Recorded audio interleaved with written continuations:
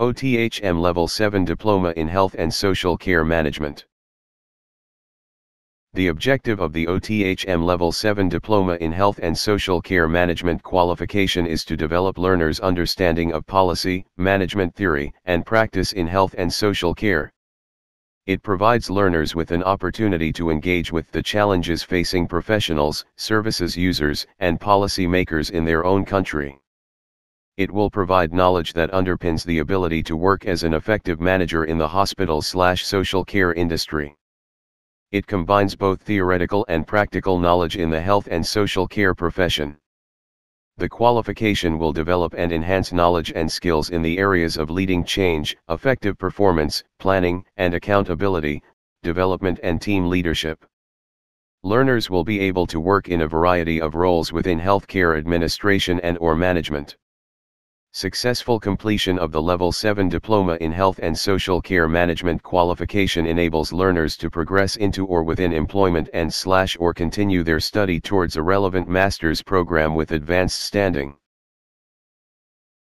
For entry onto the OTHM Level 7 Diploma in Health and Social Care Management qualification, learners must possess an honours degree in related subject or UK Level 6 diploma or an equivalent overseas qualification. Mature learners with management experience. Learners must be 21 years old or older at the beginning of the course. If a learner is not from a majority English-speaking country must provide evidence of English language competency. The OTHM Level 7 diplomas on the regulated qualifications framework are at the same level as master's degrees.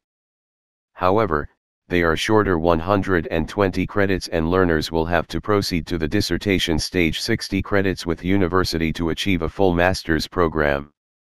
The OTHM Level 7 Diploma in Health and Social Care Management qualification consists of six mandatory units for a combined total of 120 credits, 1,200 hours total qualification time and 600 guided learning hours for the completed qualification.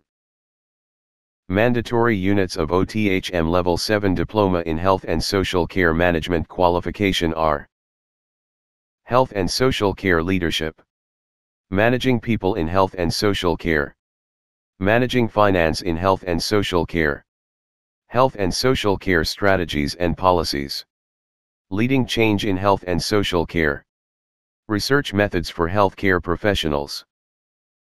For detail information, WhatsApp us on 0092331599 9937 0092321505 6755